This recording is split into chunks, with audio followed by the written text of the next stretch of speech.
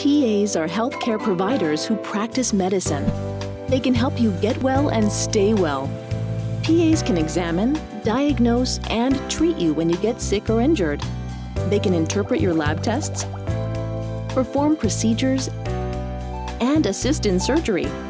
They also have the authority to prescribe medication. Most PAs complete a three year master's degree program that includes 2,000 hours in clinical rotations.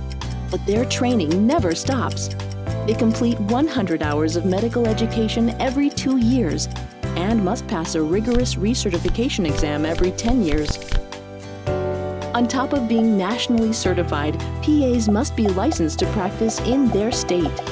You'll find PAs in every medical specialty, from pediatrics to surgery, and every medical setting from hospitals to community health centers. America's PAs are dedicated to providing excellent care that focuses on the patient.